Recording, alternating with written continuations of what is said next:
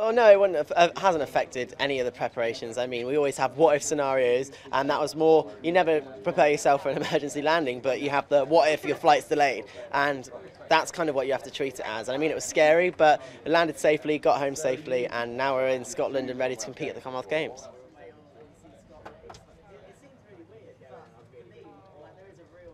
Well, I mean, it's going to be two very different games. Compared with India to Scotland, they're two very different countries. They're going to hold two very different games. Uh, but I am really looking forward to getting out there and trying to retain my title. And it's kind of exciting to kind of get the atmosphere back from the Olympics and kind of get a multi-sport event come back. And it's, you know, it's exciting.